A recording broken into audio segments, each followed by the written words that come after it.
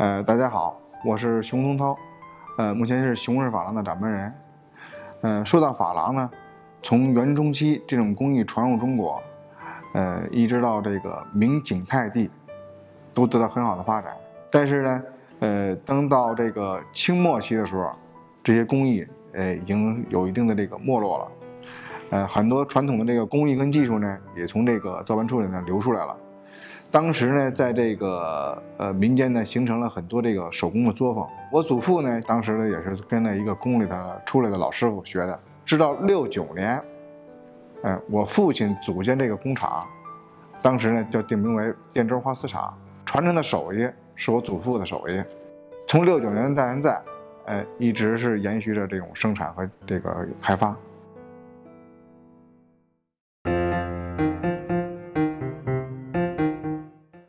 咱们传统工艺里头啊，把这个景泰蓝基本上分成呃四道大的工艺，从制胎、呃掐丝、点蓝、打磨。那么什么是制胎呢？就是用铜板一点点用锤子凿出这种胎形来。比如像这个，它是一种用锤击的方式。当凿完以后呢，它表面会有很多这个锤痕。那么这锤痕我们就需要用锉或者用砂纸把它一点点打磨下去。所有的这个打磨完了以后，就开始掐丝。那什么是掐丝呢？其实道理很简单，就是用这种很薄很宽的金属丝，用镊子一点点的把它掐出图案来，或者说掐一个圆或者掐一个方，给它掐出来，这就是一种掐丝的方式。这种金属丝基本上都是我们自个儿自制，他先用那个圆丝。给它拉到一定的程度以后，呃，然后给它压扁了。我们现在经常用的银丝的厚度呢，基本上是零点一二毫米，也就是我们所说的十二丝左右。金丝呢，我们基本上用的是这个呃零点零四，但目前来说是最细的了。那么这种掐丝按照什么去掐呢？头制作之前，先有一张图纸，有了图纸以后呢，按照图纸一点点去掐，直到把一个整个的一个图案掐好了以后。才开始把这些丝往胎体上去粘。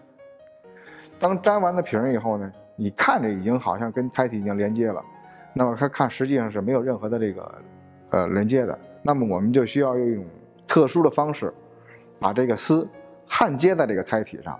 我们就用这个很大的火枪，所有东西用全部把这火包在里边，这样它的表面的焊药经过融化以后，把丝跟胎体连接在一块儿。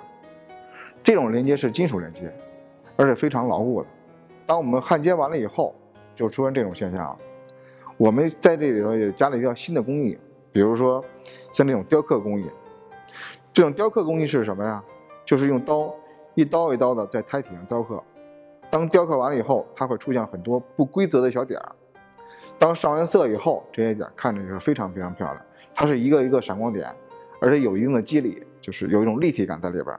我们行业里头呢，基本上管上色叫什么呢？叫点蓝。他就用后面我这些个各种不同颜色的釉料，呃，无论是你就是用吸管也好，用毛笔也好，用蓝枪也好，用我们做的最小的这个工具，比如针，前面做一个小勺，用各种各样不同的工具，把这个釉料填到这些个相对来说已经有的这些空隙里边，每一个空隙必须填满。当所有的东西填满以后，经过第一次烧制。这一个作品呢，我们大约要烧二十次左右。我们基本上从第一次开始烧结，一直到最后的二十次烧完，大概需要过程得需要一个月左右的过程才能烧完。其中有可有可能这一个东西烧烧的要废了，这是很正常的。所以我们这个废品率也相对来说比较高。呃，当所有的烧完了以后，那么我们最后就可能就是打磨。呃，所以说打磨呢，传统工艺头我们把它分成四步，比如说糙石、细石、泥浆石、木炭。但是我们现在这个珐琅打磨呢，基本上假如加到十五道不同的工序，呃，其中也包括这一个粗石、细石、泥浆石。但是我们把这个粗石已经不用了，然后最后加入一道什么工艺呢？就是木炭的碳粉。这种碳粉呢是前期磨制木炭时候产生的这个泥浆粉，它这个木炭是非常非常的这个细的。它所有打磨完以后，我们要求是不能看到任何的划痕，才算一件合格的作品。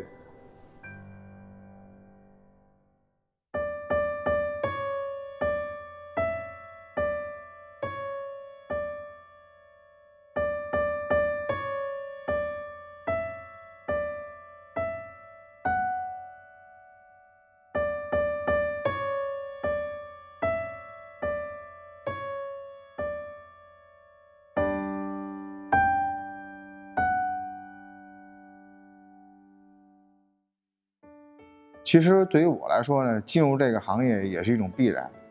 当时我大学毕业以后呢，本来我不想从事这种工作，因为从小呢耳濡目染都是这些个珐琅，每天看的、每天听的、每天摸的都是珐琅东西，看的可能比较厌烦了，也没有觉得特别好。呃，直到什么时候呢？就是我父亲跟我说，既然把这事儿已经干到这么多年了，已经传了两代了，到我这儿如果不传给我，那么变成了失传，那么就是必须让我回到这个厂子来制作这个。就是即便当时我到厂子以后，也不是说特别的对这个东西特别喜爱。这种喜爱是从什么时候开始的呢？就是我从我研究表盘开始的，每研究一步，成功一步。心里就有这种喜悦感，有这种成就感。我所做到的事儿是前人任何一个没有做到的，所以这种成就感逐渐的积累，逐渐的堆积，使我呢开始离不开这个行业，当一生的事儿去做，而不是说当一时的事儿去做。这种东西呢，这是一个对他来说有一种很深很深的感情，就像看他自个儿孩子一样，无论是他好他坏，你都应该去爱他。而不是说是一时的，所以说干这一个事儿，那就你真的用一生去干。我觉得，对于我们来说是真正说能体验一种匠人精神的地方。反正对于我来说吧，可能在以后的十年、二十年、三十年，只要我能干得动，可能我就不会离开这个行业。